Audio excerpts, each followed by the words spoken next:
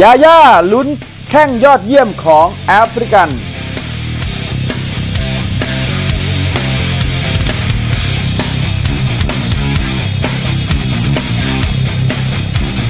ฮีทคลีฟแลนด์ซัดกันสุดมัน Christmas Day game on the rim. Nine shots. Looks up with four to shoot. Waiters, excellent job defensively. Wade gets away and draws the foul. And Wade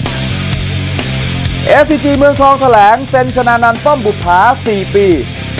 Oh,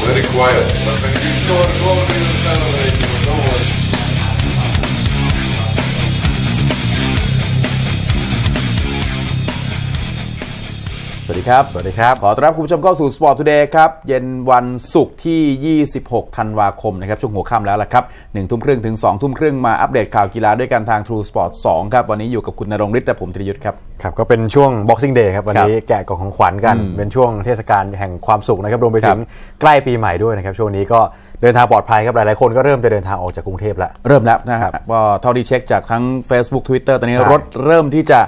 ติดขัดครัพบอสมควรนะครับยังไงเอ่อแฟนๆรายการท่านใดที่กำลังจะ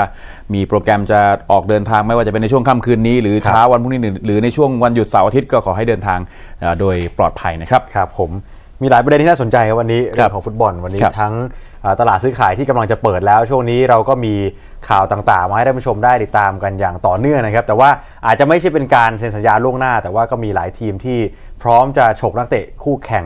ที่อยู่ต่างลีกกันนะครับวันนี้ แต่ว่าก่อนอื่นเราจะไปที่เรื่องของแอฟริกาเจนส์ครับด้วยนะฮะใช่ครับ ติดตามทั้งหมดนี้ในเอ่อในช่วงของฟุตบอล today ครับ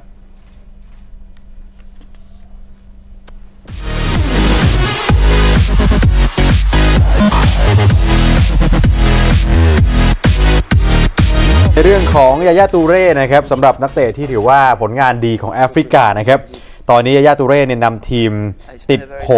ในนักเตะ 3 คนสุดท้ายนะครับที่จะได้รับเลือกในการเสนอชื่อเข้ารับรางวัลนักเตะยอดเยี่ยมของทวีปแอฟริกา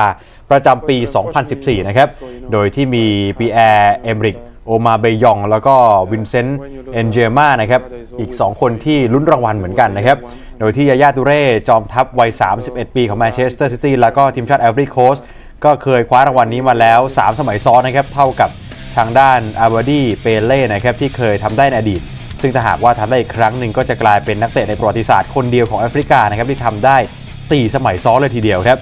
โดยที่ปีที่แล้วตูเร่ก็ทำได้นะครับเนื่องจากว่าเขาพาแมนซิตี้คว้าแชมป์พรีเมียร์ลีกของอังกฤษรวมไปถึงลีกคัพนะครับเป็นมิดฟิลด์ครับเล่นในทั้งเกมรับและเกมรุก แต่ว่ายิงประตูได้ถึง 20 ประตูใน 35 เกมของศึกพรีเมียร์ลีกนะครับในขณะที่คู่แข่งของเขานะครับ โอบาเมยองเป็นศูนย์หน้าของโบรุสเซียดอร์ทมุนด์แล้วก็ทีมชาติกาบอง ยิงให้กับต้นสังกัดไป 13 ประตูครับ ช่วยให้ทีมของเจอร์เก้นคล็อปป์คว้าตำแหน่งรองแชมป์บุนเดสลีการวมไปถึงรองแชมป์เดเอฟเบโพคาลด้วยนะครับในขณะที่คนหนึ่งคือวินเซนต์เอนเยมานะครับผู้รักษาประตูของลิลแล้วก็เป็นกัปตันทีมชาติไนจีเรียในวัย 32 ปีครับเขาพาทีมอินทรีมรกตไปลุยฟุตบอลโลกรอบสุดท้ายที่บราซิล แล้วก็ช่วยให้ลิลนั้นคว้าอันดับที่ 3 ของลีกเอิงได้นะครับแต่ดูครับแล้ว ตูเร่ก็เต็งจริงๆนะที่ใช่จะครับคว้ารางวัลนี้อีกครั้งหนึ่งก็ดูแล้วค่อนข้างแบเบอร์นะครับในการลุ้นคว้ารางวัลนักเตะยอดเยี่ยมของยายาตูเร่นะครับฟอร์มดีครับทั้งในการเล่นทั้งรับทั้งลุกยิ่งเล่นยิ่งดีนะครับ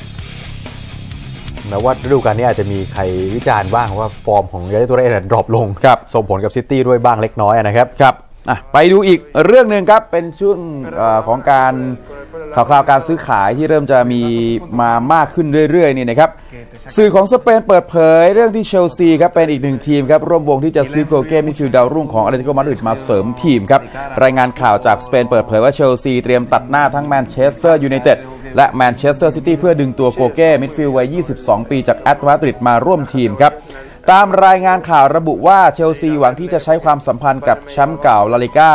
หลังจากที่เพิ่งจะซื้อดิเอโก้คอสตาและฟิลิปเป้ลุยส์ไปร่วมทีมเมื่อฤดูร้อนที่ผ่านมาเนี่ยนะครับ นอกจากนี้ยังได้ระบุเพิ่มเติมด้วยว่า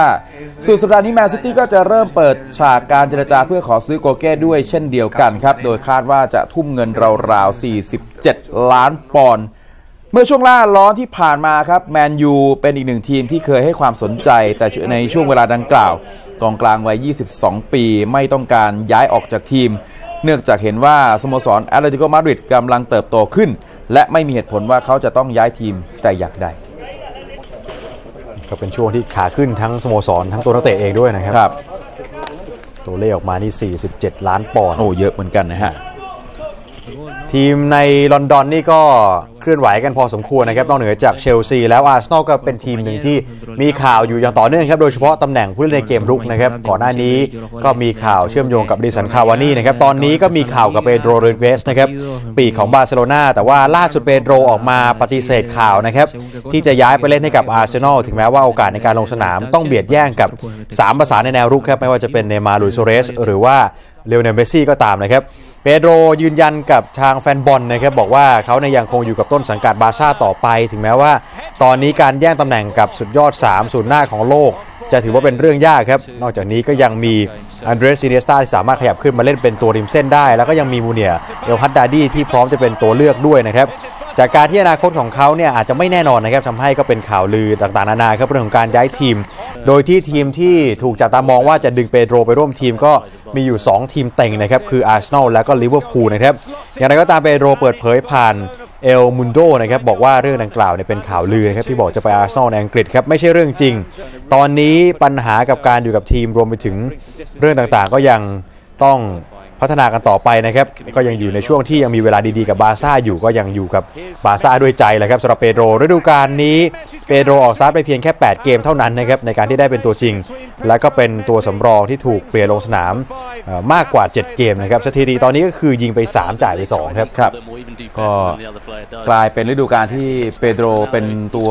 สำรองแบบถาวรไปซะแล้วนะครับครับการมาของลุยส์ซัวเรสก็กลายเป็นว่าสามประสานของบาร์ซ่าใช้เมสซี่ซัวเรสแล้วก็เนย์มาร์นะครับส่วนเปโดร เป็นอะไหล่ครับ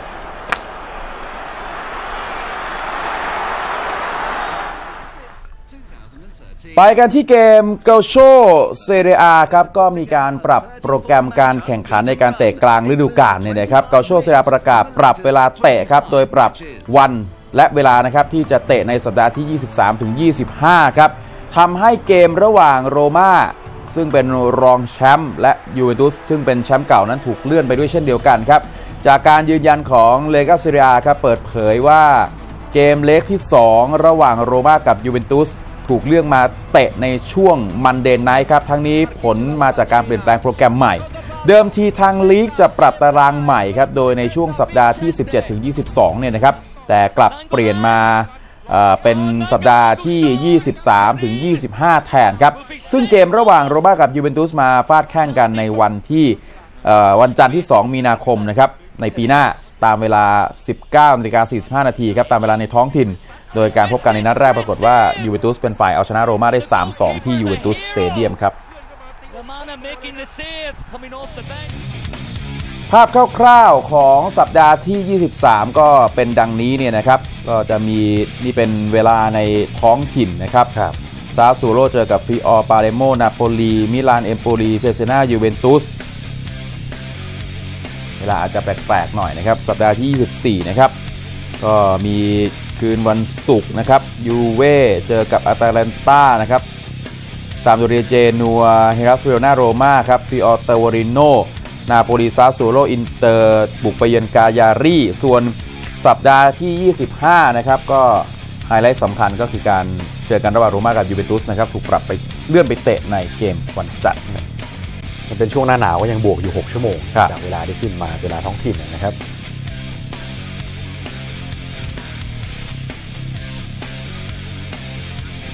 ในช่วงแรกเราคุยกันเรื่องของฟุตบอลไปเยอะเลยครับ ยังมีข่าวสารในวงการฟุตบอลให้ได้ติดตามกันต่อนะครับ ติดตามในสรุปข่าวครับ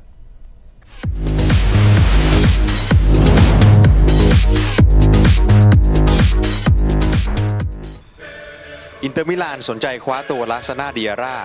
อดีตกองกลางของเรอัลมาดริดไปเสริมทีม หลังจากที่โรแบร์โต้มันชินี่ยอมรับว่าสนใจกองกลางวัย 29 ปีมานานแล้ว ถึงแม้ว่าจะต้องแย่งชิงกับเซลติกก็ตาม แต่ก็ยังไม่เคยมีการเจรจาอย่างเป็นทางการระหว่างนักเตะกับทีมดังของลีกสกอตสำหรับตอนนี้ลาสเป็นนักเตะ free agent หลังจากที่ถูกอันชีมาคัชคาล่านั้นปล่อยตัว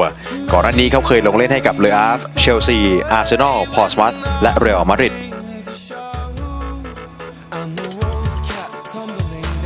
ฟรานเชสโกต็อตติกัปตันทีมโรม่าเปิดเผยว่า ในตอนนี้โอกาสเปิดกว้างสำหรับการลุ้นแชมป์กัลโช่เซเรียอา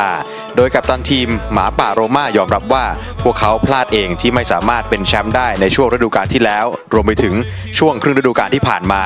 โดยเฉพาะเกมที่พบกับเอซีมิลาน ซึ่งถือว่าโชคร้ายมาก แต่สุดท้ายแล้วโอกาสในการเป็นแชมป์ลีกยังเปิดกว้าง แต่ก็เป็นเรื่องปกติที่อาจจะมีทีมแพ้ทีมชนะ อย่างไรก็ตามเกมแรกของการเปิดครึ่งฤดูกาลหลัง ทีมต้องระวังให้มากขึ้น โดยเฉพาะการพบกับอูดิเนเซ่ซึ่งทีมต้องมีการเตรียมทีมเป็นอย่างดี เพื่อรับมือกับบรรยากาศในสนามของพวกเขา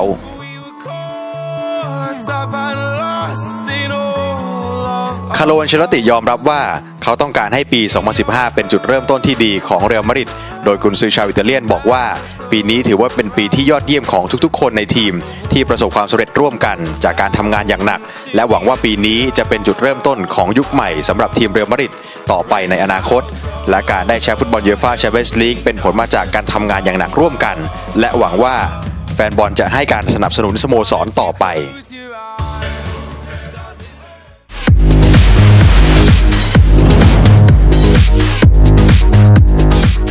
นี่คือช่วงแรกนะครับของรายการ Sport Today ครับเราคุยกันในเรื่องของฟุตบอลกันไปเนี่ยนะครับเดี๋ยวเราพักกันสักครู่เดียวครับช่วงหน้ามาคุยกันเรื่องกีฬาอื่น ๆ กันบ้างครับ เรากลับมาชมความเคลื่อนไหวหลังเกมบาสเกตบอล NBA Christmas Day game ครับ on the rim. Nine shots. Looks up with four to shoot. Waiters, excellent job defensively. Wade gets away and draws the foul. And Wade